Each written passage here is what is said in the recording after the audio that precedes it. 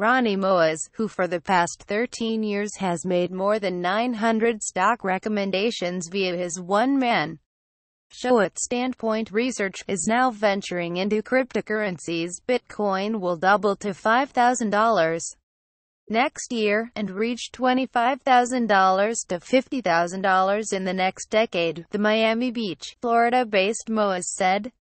In a note to clients Wednesday, where he also disclosed he bought a little bit of Litecoin, Bitcoin and Ethereum in a Coinbase.com account.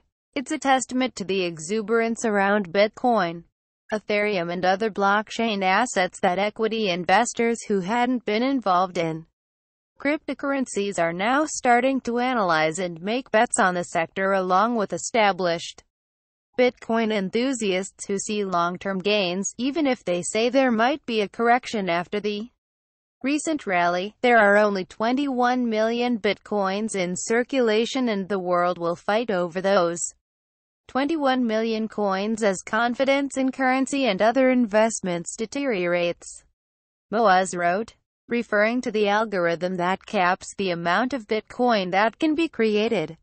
I have little doubt that 1% of the money in cash bonds, stocks and gold will end up in cryptocurrencies. Bitcoin has more than doubled this year to as high as $3,000 as adoption increased, more institutional investors backed blockchain technology and the second biggest digital currency, Ether, started to become popular in fundraising rounds for tech startups.